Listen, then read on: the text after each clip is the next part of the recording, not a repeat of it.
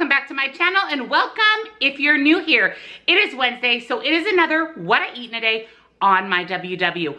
I am on the blue plan and I follow a clean approach to the WW program, which basically means that I try to eat as clean as possible, real whole food as much as possible. So you're gonna see everything I eat throughout the day today, Diesel and Lola, some goodness. It's gonna be a lot of fun. So you definitely wanna stay for the entire video. So let's jump right into this What I Eat in a Day on WW.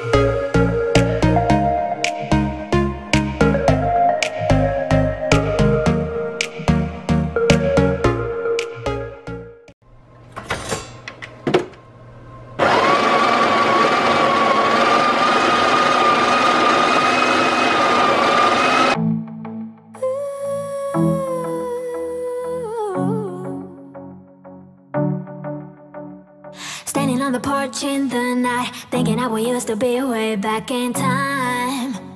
In time. Barefoot on the grass, open skies. I can feel it every time I close my eyes. My eyes, yeah. Can you remember when we were young and free? Like quiz. Really? These two. Look at them. Yeah, yeah, I see you all right.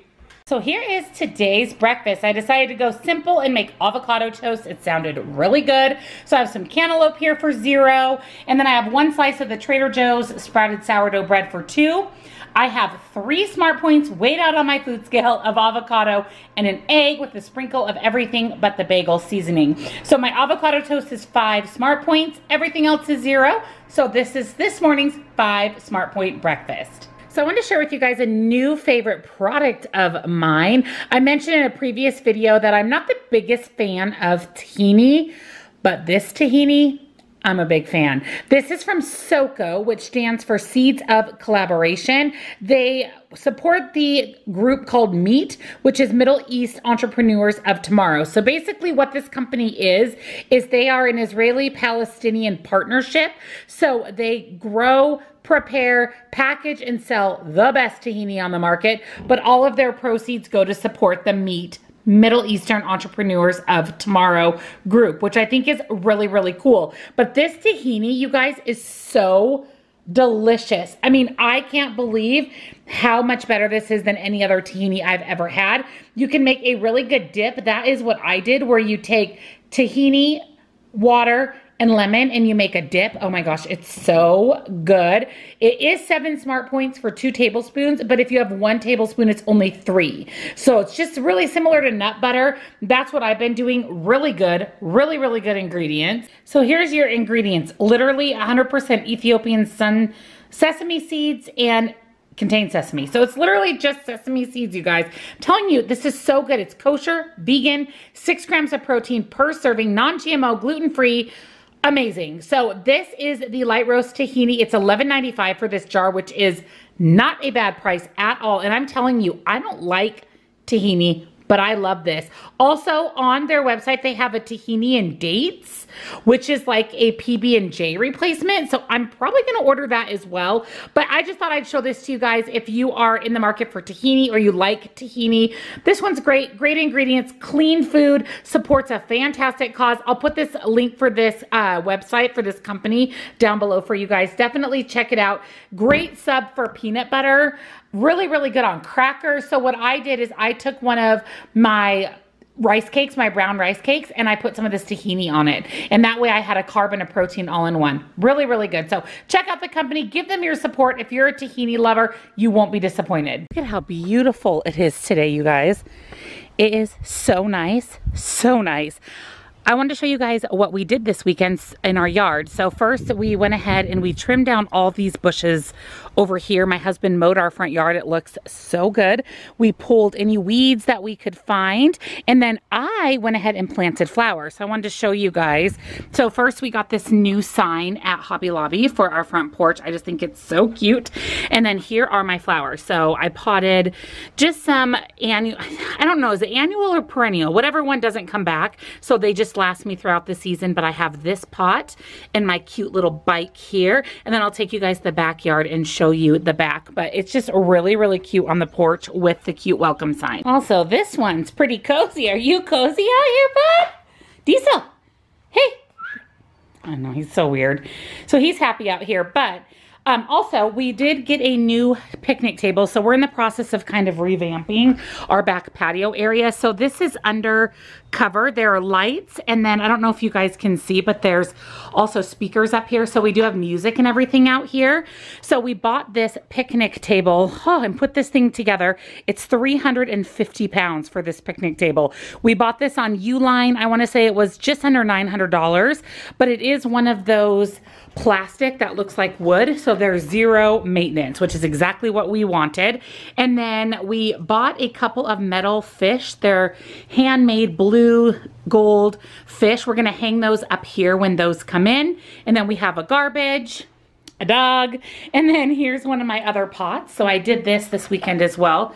so pretty with those flowers. I propped it up on this cute little plant stand that I got at Hobby Lobby. Little Missy's in the sun over here.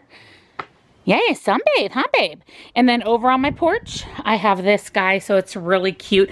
I found this little bird in our yard, which was really bizarre. It's kind of a kind of a plasticky bird, and every year I just pop it in this planter on the porch here. But I think that these are just gorgeous. So that one's on the porch. And then we are in the process of removing hi guys, all of these rocks and we're going to bark it like the other side over here, but we're still removing rocks. It's it's a long process. So we've been digging out the rocks slowly by surely, slowly but surely so we can add in the bark. Here's my other pot. So I always put one of these big pots over here. And then when we redid, so here's a, another view of our patio area. So when we redid that, we ended up moving our barbecue over here to this concrete slab.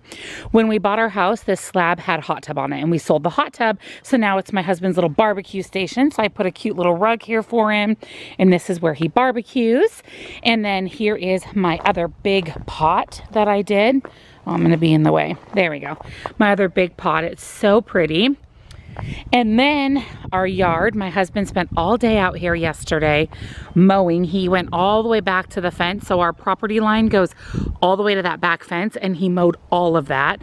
He even spent some time over here, like right over there is a garden area. He mowed that down completely so that we can spray weeds and kill that area off. He just spent literally hours yesterday. He got the fire pit area all set up for us. So yeah, it's it's looking good. We're excited to get everything finished here. So just a couple more pots. So I have this guy here, which I think is really pretty. He kind of sits on the corner of my house. And then over here, this is our garage door. And I went ahead and popped another planter here just for some color. So those are some of the projects we've been working on. We also redid all of our lights. So these are all brand new, as well as some new big floodlights that kind of go in our backyard so we can see the dogs and everything at night. So we have been just doing these home projects little by little. The lights were about $500. That was quite an expense. And then of course the picnic table, but it's starting to look really, really good back here. And for us sitting out here on the slab, it's just too hot in the summer. So the fact that we do have this nice kind of covered area, which Diesel loves is better for us. And we usually pull the dog bed out here to the sun for that one.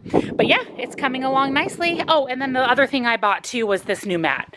So this mat looks pretty similar to the little mat by the barbecue. And what I like about this, it's a rubber and it's open so it doesn't get all moldy. We were finding that our other mat that is like material would get mildewy and icky. So this is a nice big one. Hi, babe. This is a nice big one that sits here by the French doors in our kitchen. So just thought I'd show you guys kind of what we've been working on. No judging what I look like. I'm getting ready to do Jazzercise Facebook Live. I'm so excited. So my instructors in my at my local Jazzercise studio, the one I always go to when we're not stuck at home, they are doing Facebook Live sessions a couple times a day. So today there's a 12 10. Now I was gonna have lunch first, but you guys, I'm still full from breakfast. That avocado toast, everything has kept me really, really full and satisfied. So I'm actually gonna go do my workout before I eat. So I'm gonna be hungry for sure. The workout's an hour, so it'll be a little after one o'clock. I'll try to show you guys what the whole Facebook Live looks like. I just do my workout in my garage. That way I can open the door, get a little bit of sunlight. It's nice and cool in there because I really sweat. So I have quite the stylish outfit on that I wanted to show you guys. I'm at home, no one can see me. So first I have this headband, which I did pick up these headbands off Amazon. I'm gonna link them for you guys. It's a set of three. They're these really thick, like moisture wicking headbands. I love them. So I have on my workout shirt and my leggings. So I'm gonna go do my workout and then of course I'll show you guys what I'm having for lunch. So I'm in my garage getting ready for my workout and this is happening. What the heck? So I pop my door open back there so I get a little bit of sunlight and then these two rambunctious turds can come in and out. And then over here is where my setup is. I know it's nothing lavish, but it works. And I have all this floor space all the way back over there for my jazzercise. And then I usually just store my water here on this work table my husband has. So yeah, this is my jazzercise space until I can go back to the studio. Here's what our live looks like. So that's our instructor. She's the owner of our studio. And then there's always a chat box going on over here. Hey Melody, Sandy, Karen. Yay, so Jazzercise Live.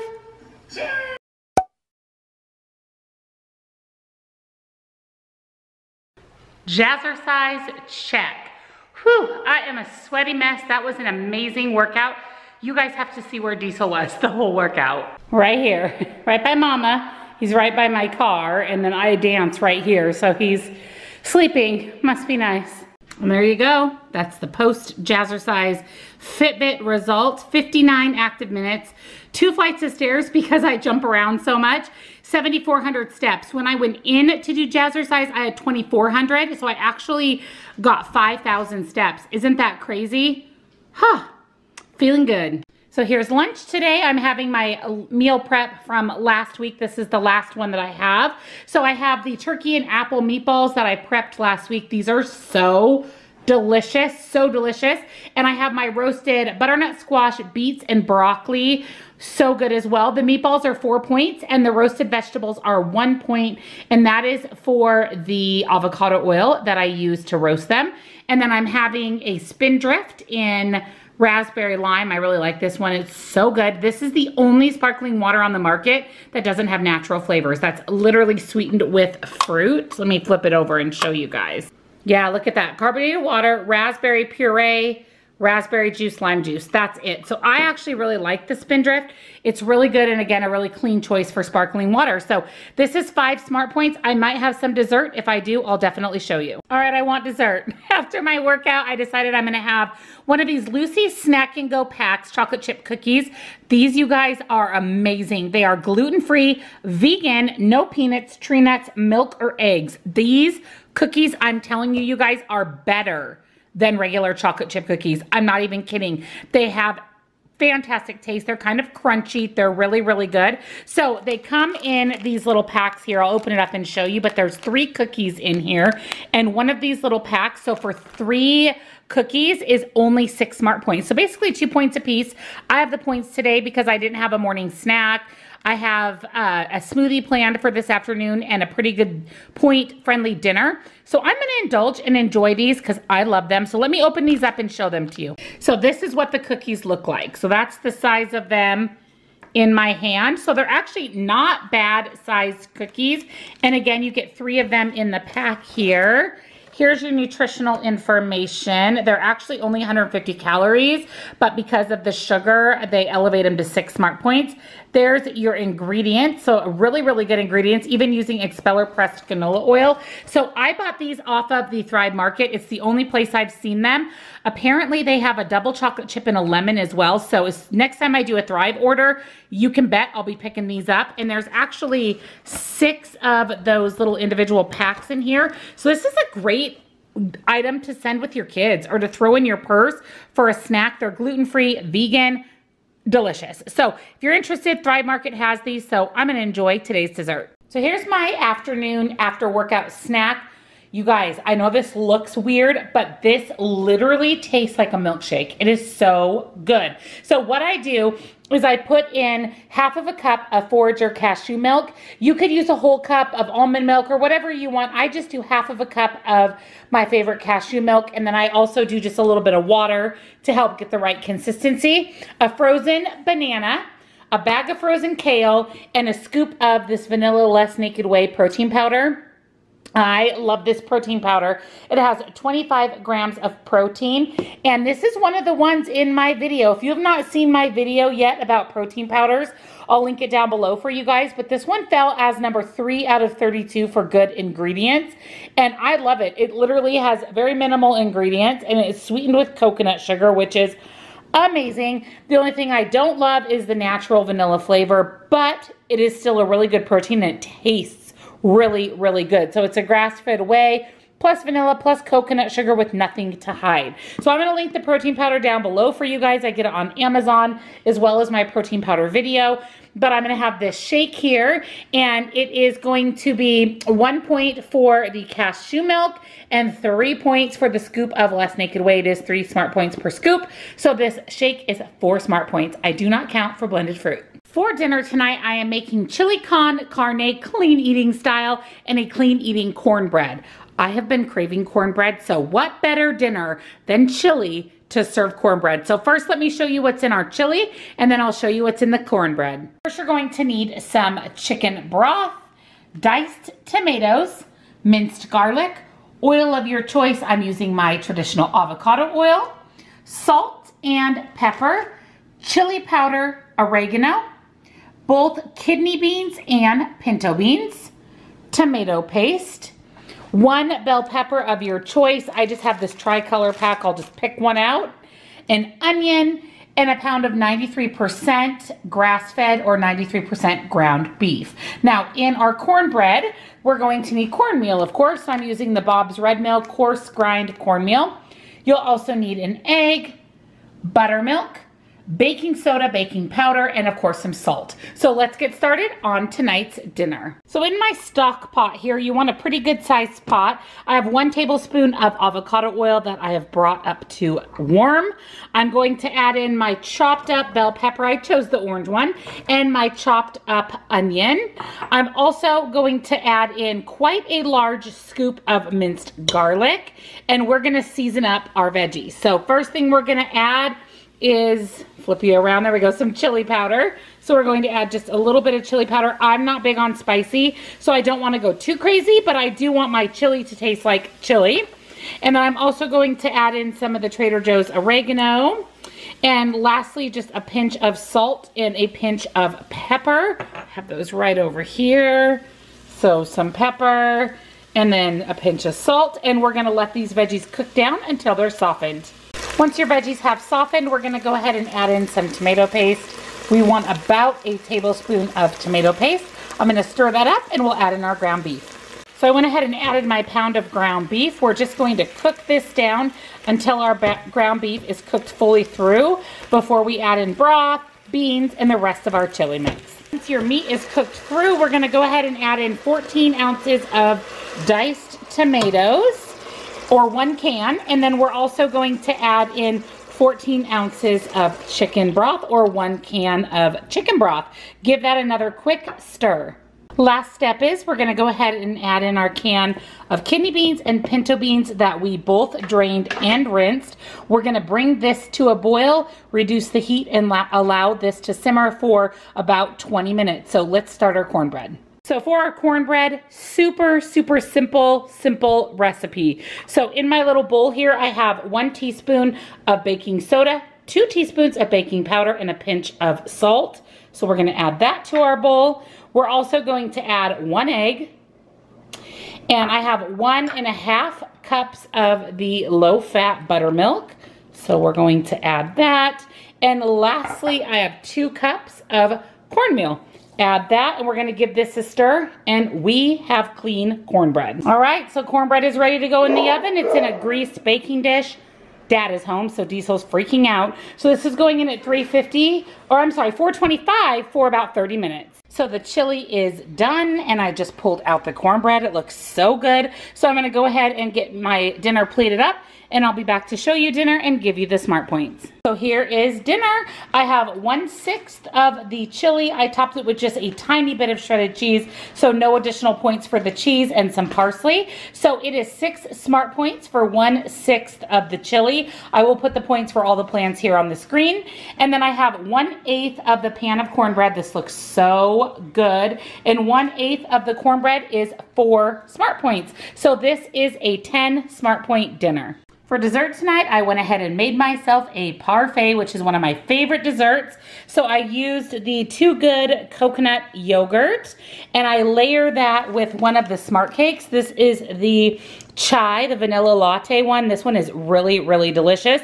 These are only one smart point a piece, and they are really good. The perfect size little cake. There's your nutritional information. They actually have really good ingredients, so I continue to eat these on a regular basis. They are keto and gluten-free as well. And again, one smart point. I do have 10% off for smart baking or the smart cakes. I'll put that code here on the screen for you, and it's down in the description box below. So I crumpled up one of those throughout the yogurt, and then I topped it with one point worth of this so delicious CocoWhip. This stuff is amazing. So one point worth of that right on top. So my parfait is two for the yogurt, one for the smart cake, and one for the CocoWhip. So four smart points.